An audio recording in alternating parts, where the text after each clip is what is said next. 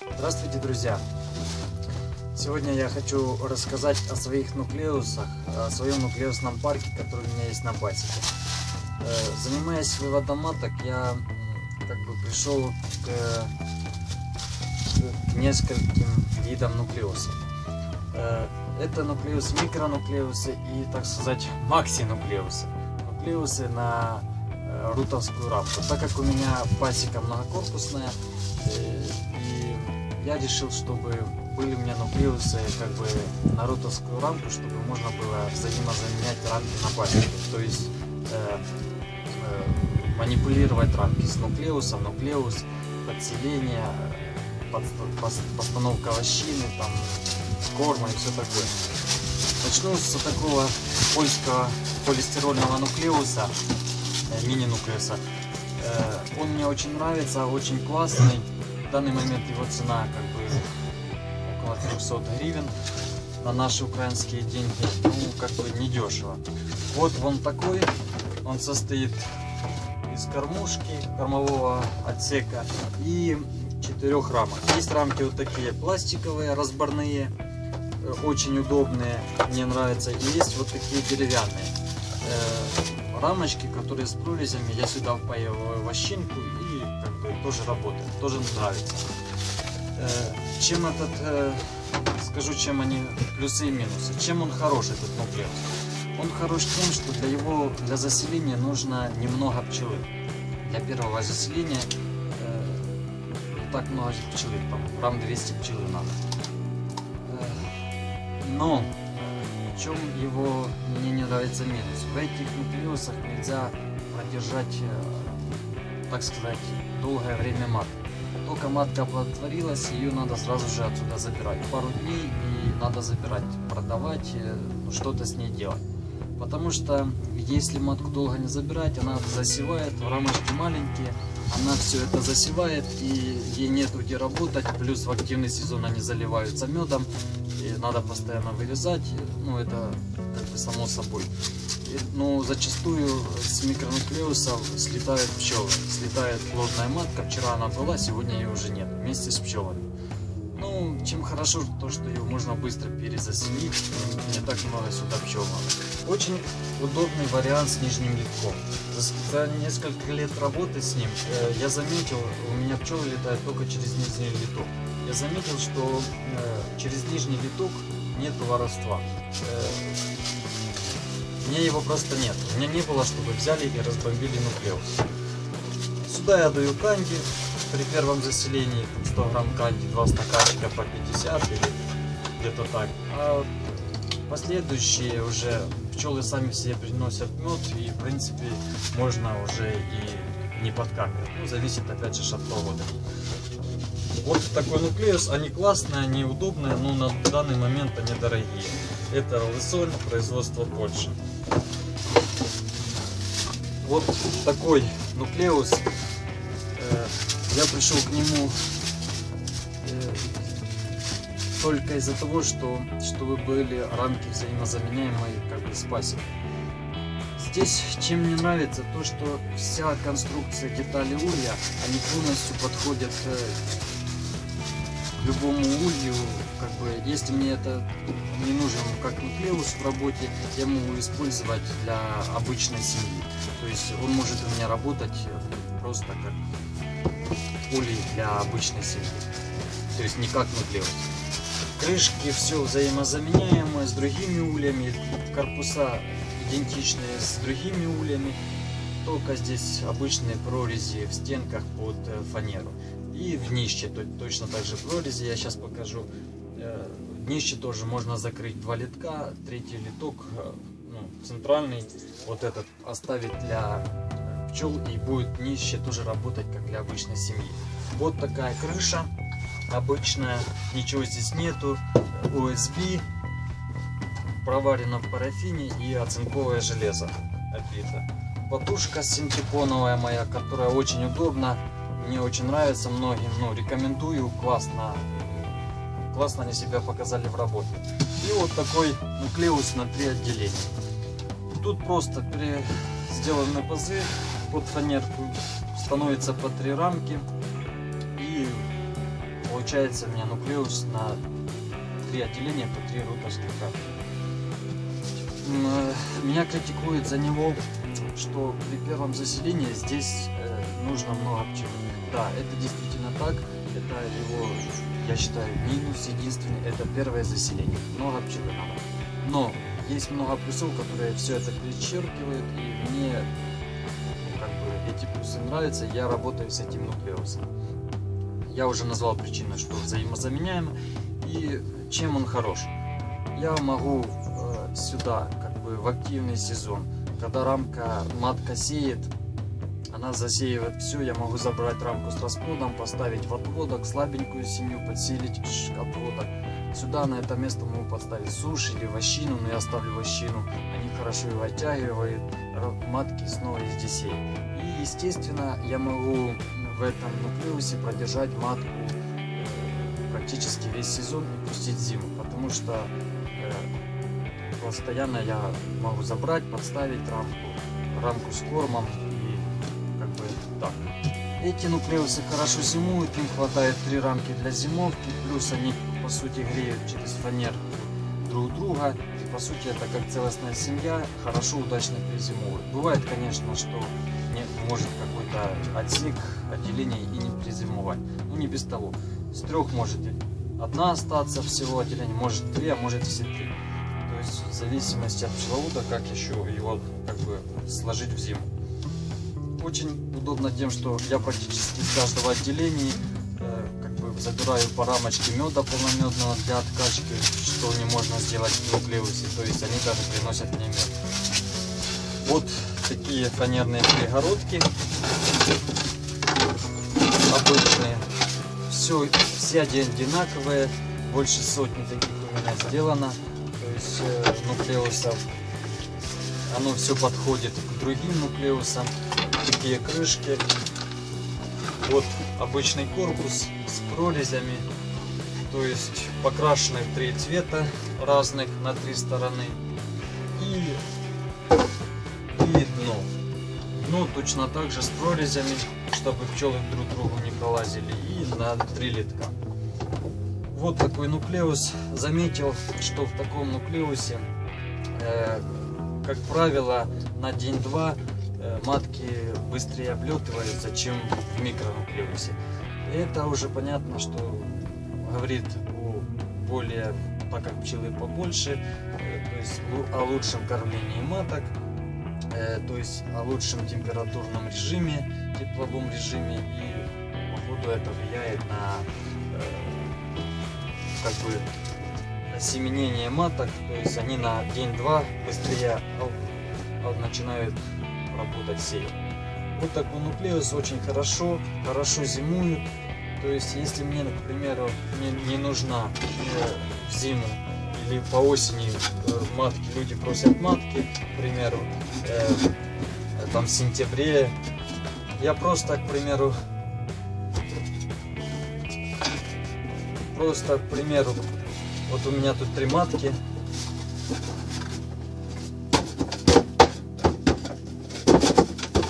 матки. Я просто забираю, к примеру, одну матку с отделения и через там определенный период вытаскиваю перегородку с улья. Вытаскиваю, у меня может быть сразу ну, остаться э, две матки. Если мне, опять же, не нужна матка, я могу вытянуть эту перегородку и объединить все целостную семью. И зимой идет зимовать как одна полноценная семья. Могу зимовать три, могу зимовать две. В зависимости, сколько у меня есть в наличии маток, сколько я планирую оставить зимовалых маток. И, то есть по обстоятельствам. Очень удобно, взаимозаменяемость рамок, это очень удобно. То есть я не отвлекаюсь, если я наващиваю рамки, наващиваю как бы для нуклеусов, хоть для если надо выделять время для этих ну-ка обрабатывать их. Тут я уже канди не делаю, я сюда ставлю рамочку корма э, с медом. То есть канди уже не надо делать. Э, как бы вот такие нуклеусы у меня. Мне очень нравятся. И как бы я рекомендую, может, конечно, многих пугать первое заселение, потому что при первом заселении, по сути, надо много пчелы. Ну, опять же, когда мы зимуем, хоть одной целостной семьей, хоть все они перезимовывают, у нас уже на второй сезон, на весну, уже отпадает практически заселение. То есть нам не надо заселять. Мы просто, если это была одна семья, забираем матку, став, зимовалую, ставим перегородки, у нас опять же три, три отделения уже готовой пчелы с расплодом. Плюс еще, что, что здесь надо мне при первом заселении э, делать канди, при первом заселении надо только не плотку давать, то здесь при первом заселении я просто могу сразу давать маточник на набор. То есть вот такие дела с моими нуклеусами. Мне они нравятся, кому-то они могут не понравиться. Вот такой нуклеус.